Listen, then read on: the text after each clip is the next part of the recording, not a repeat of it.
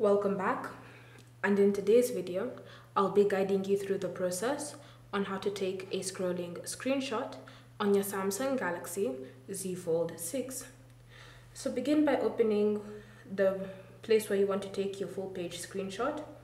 Then from here you want to use the side key and volume down button or you want to swipe down for quick settings and tap on take screenshot. Once you've taken your regular screenshot, at the bottom you should see this toolbar. So you want to tap on this icon here on the toolbar. You'll notice it whenever you take a screenshot that you have this icon at the bottom on this toolbar.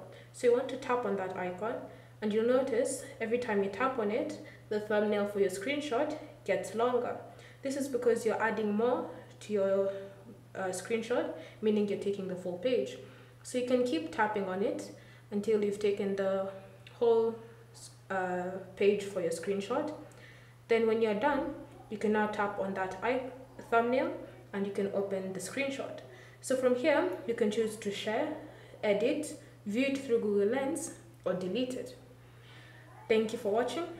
If you have any questions or comments, leave them down below and we'll get back to you.